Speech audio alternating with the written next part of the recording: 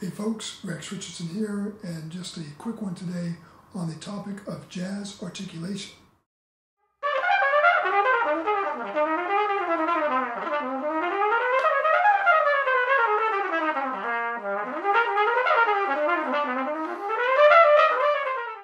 So this topic comes up pretty frequently with uh, young jazz players or classical players who are just starting to dig into jazz.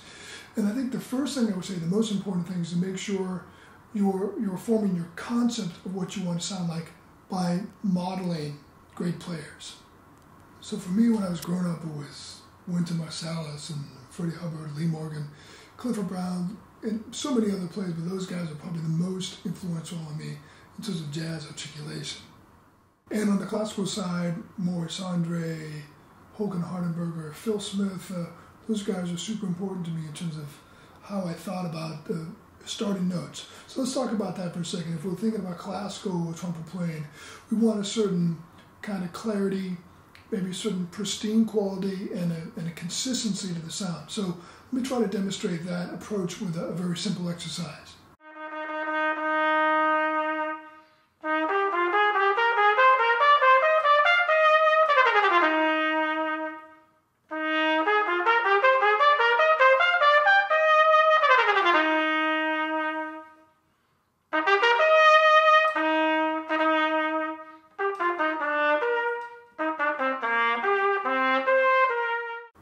So now I'll try that same exercise in a jazz style. And as you'll hear, the, the changes are pretty subtle. I'm basically rounding the eighth notes just a little bit, very subtly, and adding a bit of texture to the front of the notes. And that's about it.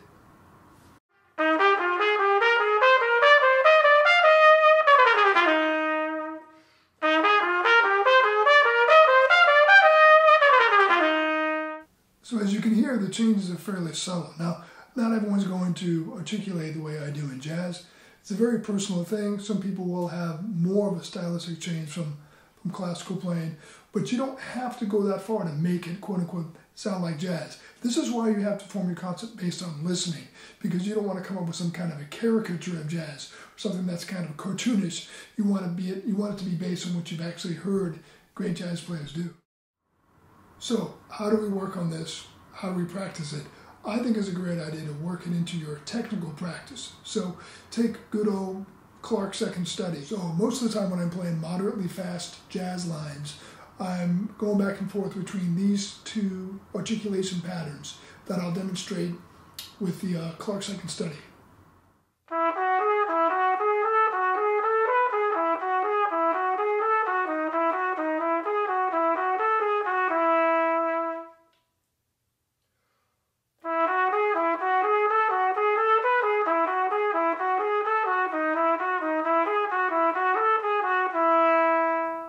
So of course there's not much of a jazz character in that tempo, but as with anything else, you want to start very slowly to establish technical command of what it is you're trying to do, and then gradually speed it up. And once you get to a certain threshold, it's going to have that sort of bebop style articulation you're looking for.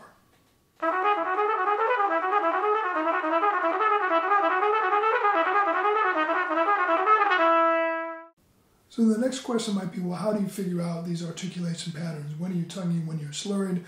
When are you kind of blurring the lines between tonguing and slurring in a way that you wouldn't necessarily do very often playing classical music?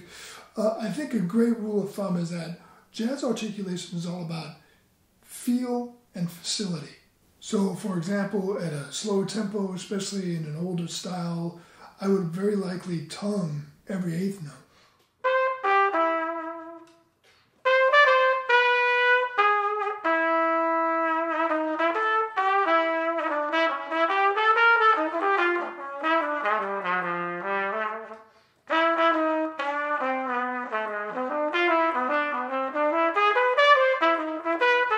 On the other hand, if I'm playing a very fast run, it might be entirely slurred.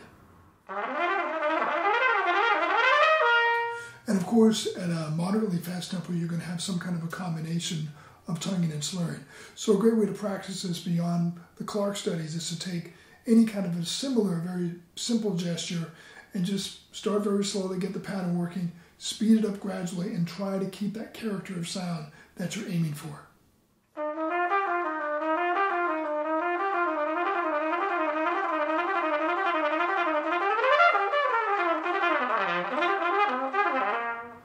So earlier I mentioned that jazz articulation is really about feel and facility. So in terms of the feel, you know, the right pattern of tonguing and slurring allows you to control how much it's swinging, what, what the character is in a way that just slurring or just tonguing wouldn't do. Uh, likewise with facility, uh, the right pattern of articulation will allow you to navigate more technically challenging passages.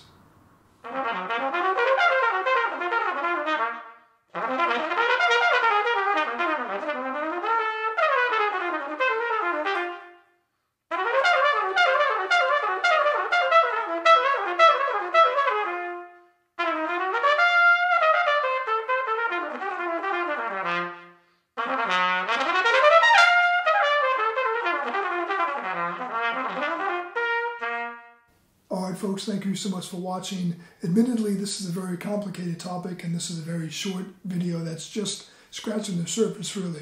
But I hope you found it helpful, and as always, I'd love to receive your questions and comments. Thank you.